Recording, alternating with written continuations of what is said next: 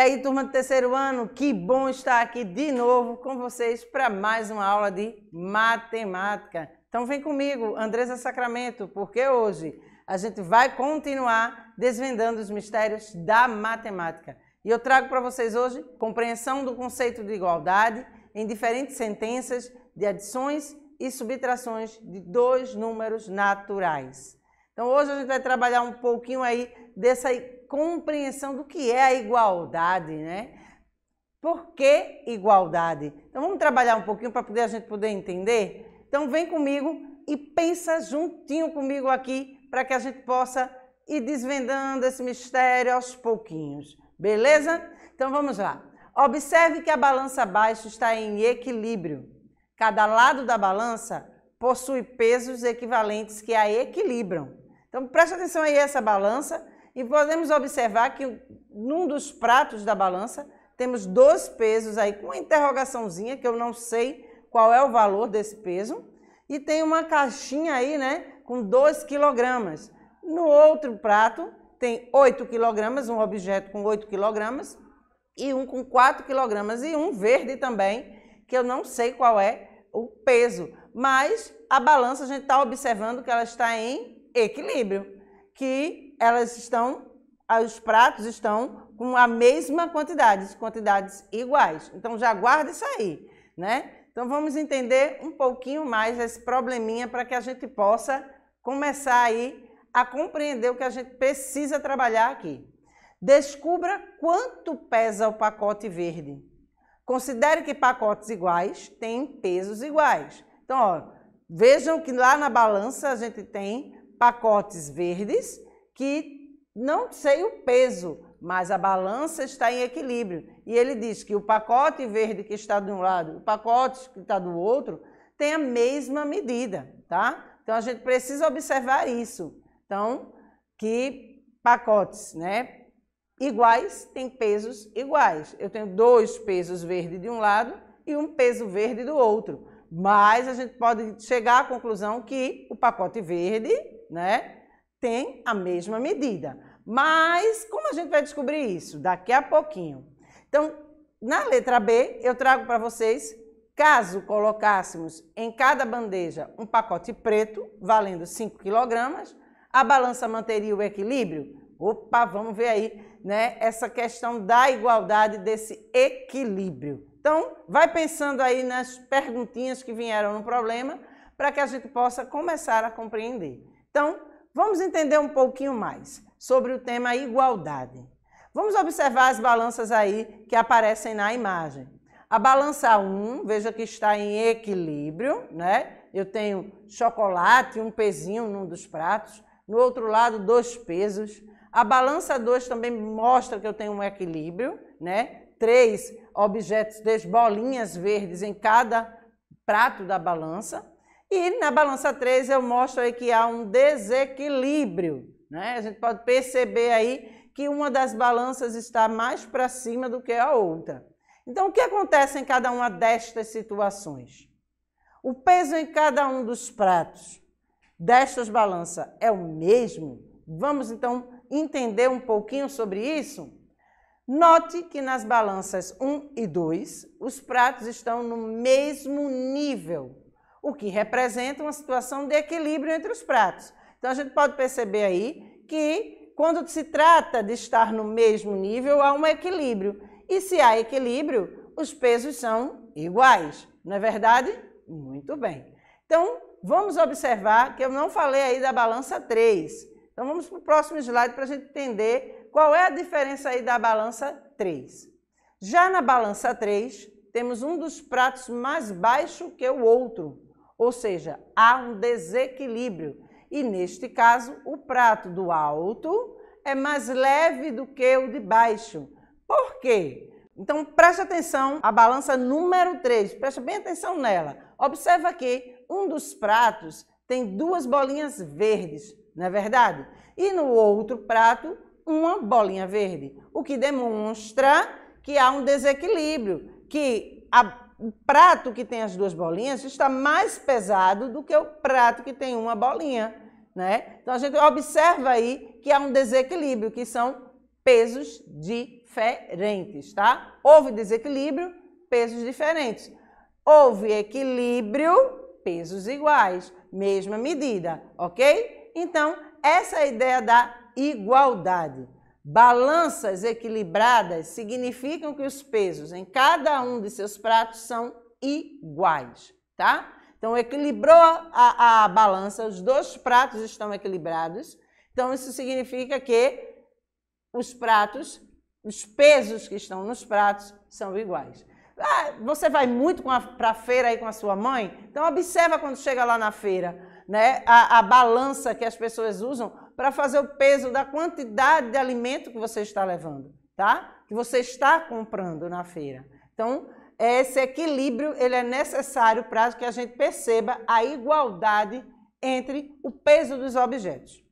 Então a gente observa aí que o peso do prato 1 é igual ao peso do prato 2, tá? Presta bem atenção a isso.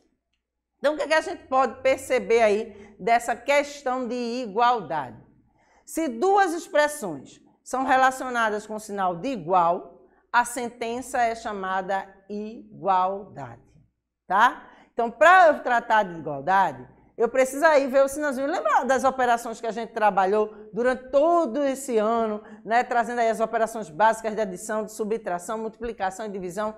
Lembra lá do sinal de igualdade? O sinal que vem logo após a operação é o sinal que indica que a operação tem um valor, né? E aí eh, tem um resultado. E aí, esse sinal de igualdade indica que há um equilíbrio entre essas expressões, tá? Entre essas operações. Então, 3 mais 5, tá? E por que eu chamo de expressões? Porque eu estou usando dois termos aí, né? O termo que vem antes da igualdade e o termo que vem depois da igualdade. Então, presta bem atenção aí nessa operação que aparece. 3 mais 5 igual a 8, né? Então, a gente pode perceber que a operação que está antes da igualdade é igual ao que vem depois da igualdade. Então, vamos pensar mais um pouco. Presta bem atenção. Como eu falei, a expressão que fica à esquerda do sinal de igualdade né, é chamada de primeiro membro da igualdade.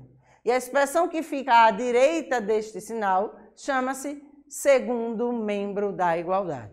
Então, no primeiro membro da igualdade, eu tenho aí 20 mais 10. E no segundo membro da igualdade, eu tenho 10 mais 20. São iguais porque se eu calcular 20 mais 10 vai me dar 30 e 10 mais 20 também vai me dar 30. Eu poderia ter aí após a igualdade já o resultado, 30. E eles seriam iguais, tá? Então, esse sinal aí indica né, que há um equilíbrio, que os termos são iguais, que as expressões são iguais, que as operações são iguais. Ok? Deu para entender? Então, vamos agora perceber aí o que eu posso fazer além desta é, questão de observar essa igualdade. Observa aí o exemplo que eu trago. 10 mais 3 igual a 13, tá? E o outro, 35 menos 5 igual a 30. Veja aqui, a operação que eu fiz 10 mais 3 me deu um resultado, me deu uma igualdade, me deu um resultado 13. 35 menos 5, de 35 eu tirei 5, fiquei com 30. Então eu tenho aí também uma igualdade, né? Onde eu tenho um resultado igual à operação que foi realizada. Mas o que eu fiz abaixo? 10 mais 3 mais 2. Veja que eu estou adicionando um valor a mais. 13 mais 2 vai me dar quanto? 15. Ô professora, 10 mais 3, 13, mais 2, 15. Ok, poderia estar o resultado final lá. Mas o que, que eu quero que vocês percebam? Que se a gente adicionar ou diminuir o mesmo número nos dois membros da igualdade, continuaremos a ter uma igualdade. Teremos o mesmo equilíbrio, tá? Então eu posso aumentar aí na operação. Ah, professora, eu pensei aqui, eu estou contando 7 mais 3, 10. Mas eu ganhei mais 5 lápis de presente aí do Dia das Crianças, né? E aí eu estou juntando essa quantidade. 10 mais 5, 15. Então vejam que se eu aumentar de um lado, eu estou aumentando do outro. É o mesmo que eu estar adicionando uma outra parcela, tá? A um resultado, ou adicionando a uma das parcelas, né? Esse valor para achar o resultado. Ok? Então, se eu adicionar ou diminuir o mesmo número, né, é, tanto no primeiro membro da, da igualdade como no segundo membro da igualdade, eu vou ter o mesmo resultado, o mesmo equilíbrio, ok? Deu para entender? Então vamos lá solucionar o nosso problema. Então observa aí, a balança está em equilíbrio, né? E cada lado da balança possui pesos equivalentes que a equilibram. Então, vamos ver o que é que a gente pode fazer com essa operação aí, porque eu preciso saber o quê? O peso do pacote verde, né? Como eu vou descobrir? Ele diz que os pesos são iguais. Então, o que é que a gente vai fazer? Presta bem atenção comigo, tá? Aqui a gente vai usar um pouquinho de lógica, tá? Um pouquinho assim do nosso raciocínio, tá? Porque eu não vou complicar aqui, tem uma forma bem simples de operar, mas mais na frente vocês vão aprender.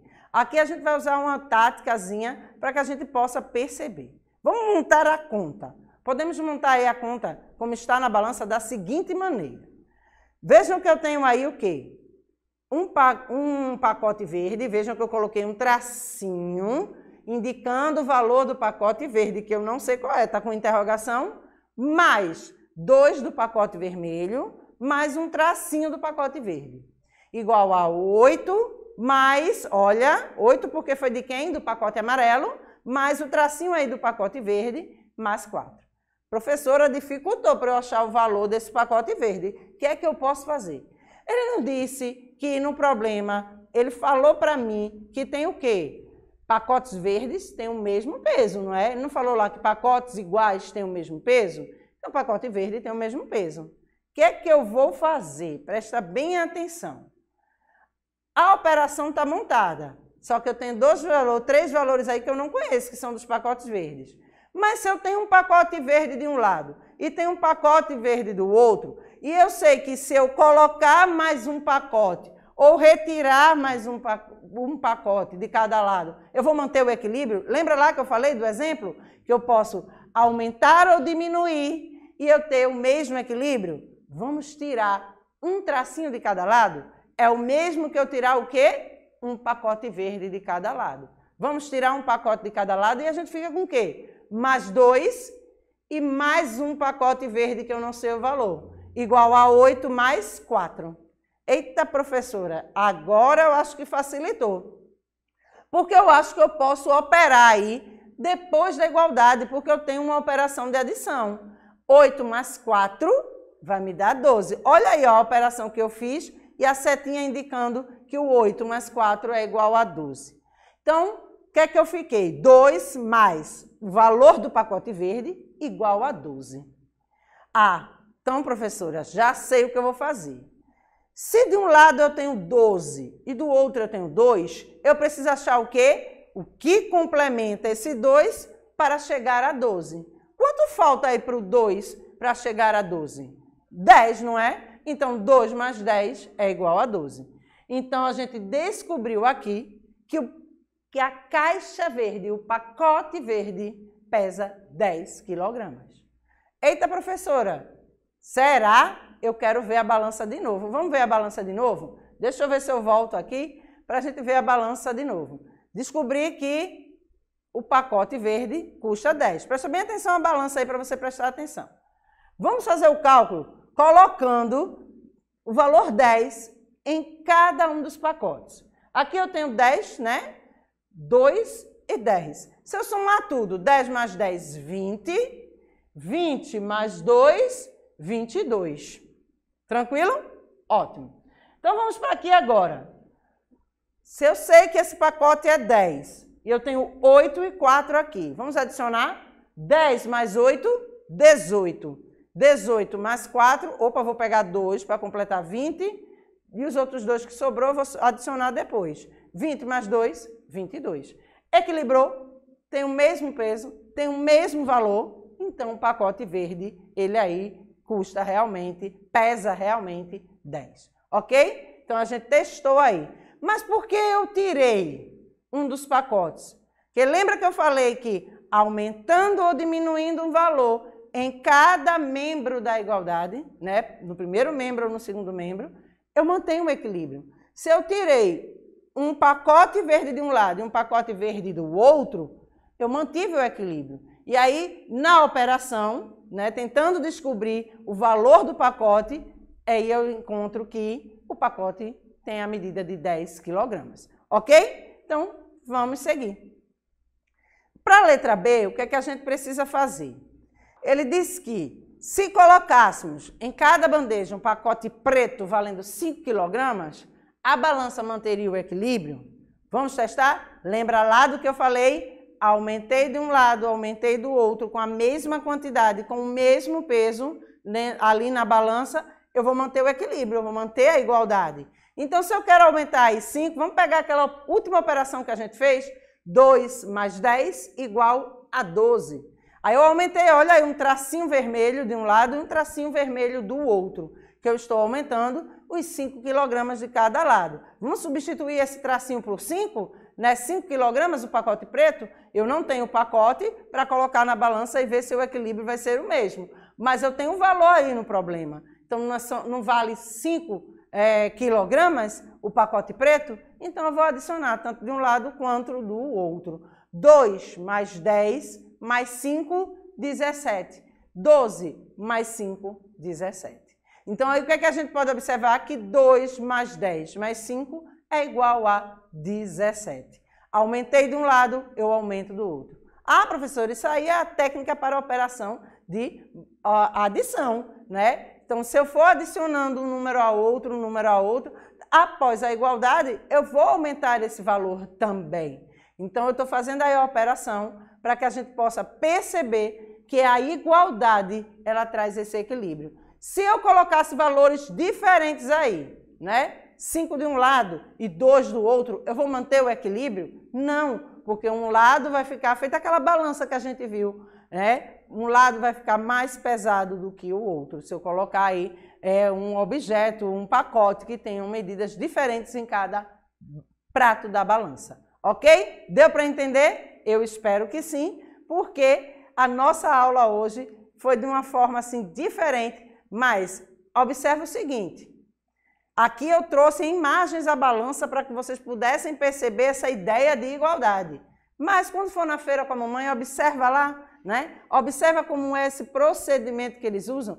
Algumas balanças eles colocam peso, hoje já tem a balança digital, que é só colocar lá, ó, a balança já registra. Mas ainda existem algumas balanças dessas aí que eu trouxe aqui para vocês entenderem um pouquinho dessa ideia de igualdade. Que a pessoa coloca o pezinho, ó, Procura lá na feira, quando vocês forem com a mãe de vocês, se ainda existe em algum banco de feira ainda esta balança aqui. Coloca um pezinho do lado e coloca o alimento do outro para tentar equilibrar ali ó, e ter o mesmo peso, né? É, o mesmo equilíbrio. Então, dá uma observada e sabendo que hoje em dia já existe a balança digital. O pessoal bota lá ó, a quantidade do peso, né? o valor do peso e aí coloca o alimento e já sai o valor que você vai pagar. Ok? Então, mas observe e procura dessa balança aí dos pratos que eu trouxe para vocês compreenderem mais o nosso assunto. Então, uma balança em equilíbrio tem em seus dois lados